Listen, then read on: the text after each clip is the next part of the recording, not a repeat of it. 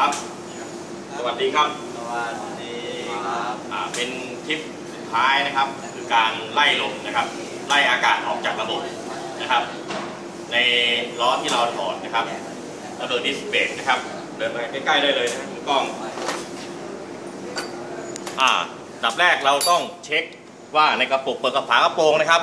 เปิดฝากระโปรงรถหน้ารถแล้วก็เติมน้ำมันเบรกนะครับ ให้ได้ ให้ได้ระดับอยู่ด้านนี้นะครับ ใครมีไฟฉายมาส่องให้อาจารย์หน่อยเราไปเยี่ยมอเนี่ยนะครับ ให้ได้ระดับก็คือแม็กแม็กซิมัมนะนะประมาณนี้นะครับ ได้แล้ว เติม เติมเสร็จก็ปิดฝานะครับนะปิดฝาทีนี้เราก็ทำการย้ำเลยนะครับ ย้ำนะให้ผู้ช่วยย้ำนะย้ำจับไว้ย้ำย้ำไปเรื่อย ในขณะเดียวกันเราก็เตรียมประแจไว้เรียบร้อยแล้วนะครับ ให้เราคลายย้ำไปเรื่อยๆนะครับนะเราก็จะเห็นฟองอากาศออกใช่ไหมครับ ย้ำไปอาจารย์ก็จะคลายแล้วก็ปิดฟองยังมีอยู่ เห็นไหมครับยังมีฟองอยู่เต็มสายเลย ยังมีฟองอยู่ในระบบนะครับนักเรียนคลายแล้วก็รีบปิดนะครับ ไม่มีอะไรอ่าเริ่มเริ่มจะเริ่มจะหมดแล้วนะครับย้ำเรื่อยๆสูงไหมครับเท้าเริ่มสูงขึ้นใช่ไหมสังเกตนะครับ เกือบหมดแล้วนะครับ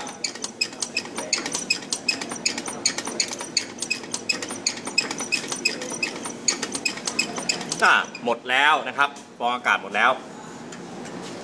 ก็ทำการเช็ด เช็ดแล้วก็เอาลูกยางนะครับ ลูกยางกันฝุ่น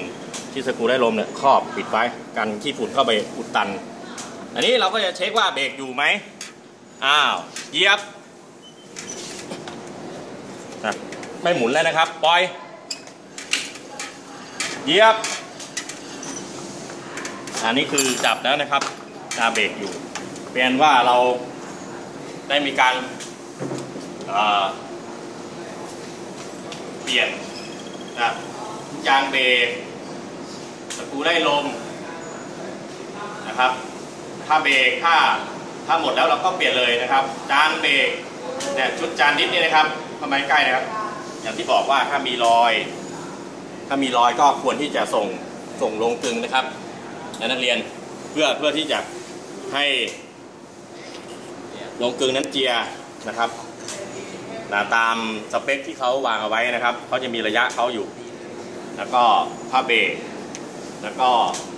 สกรูให้ลมเปลี่ยนแล้ว แล้วก็มีการเติมน้ำมันเบรกหลังจากหลังจากเราไล่ลมเสร็จน้ำมันเบรกยุบเราก็ต้องเติมด้วยปิดท้ายอย่าลืมนะครับ ตอนนี้มันยุบลงไปแล้วนะครับกล้องมาใกล้ๆนะครับเนี่ยต่ำกว่าขีดนะครับแม็กต่ำลงไปแล้วก็เติมให้ได้ ได้ระดับ อ่าเป็นว่าได้ระดับแล้วนะครับ ก็ปิดฝาเป็นว่าวันนี้เราได้อาเรียนเรื่องของดิสเบรกนะครับ การถอดประกอบดิสเบรกการตรวจสภาพ การเปลี่ยนลูกยาง การขัดลูกสูบนะครับ หรือว่าเปลี่ยนชุดซ่อมนะตัวสลักตัวนี้ก็สำคัญนะครับนะต้องมี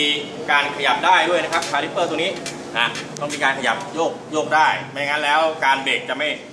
จะไม่สัมผัสตรงนะครับมีอีกนิดนึงนะครับที่ไม่ได้บอกนะครับก็คือเรื่องของผ้าเบรกถ้าผ้าเบรกนั้นกินเสมอเท่ากันมันหมายถึงระบบเบรกอันนั้นนะครับข้างนั้นนั้นมีประสิทธิภาพที่ดีมากนะครับ แต่ถ้ากินเอียงข้างใดข้างหนึ่งที่ผ้าเบรกนั่นต้องผิดปกติแล้วนะครับ แสดงว่าตัวสลักตัวนี้ไม่บนก็ล่างนะครับ ไม่ด้านบนก็ด้านล่างเกิดติดขัด หรือว่ามีสนิมเข้าไปเราต้องถอดมาทำความสะอาดแล้วเราก็ทาจาระบีนะครับ แล้วก็เปลี่ยนลูกยางที่อยู่ด้านในด้วยนะครับ ตรงนี้สำคัญ ก็หวังว่าวิดีโอชุดที่ 3 ของดิสเบกนี้นะครับ คงจะเหมาะกับนักเรียนนักศึกษานะครับและผู้ที่สนใจ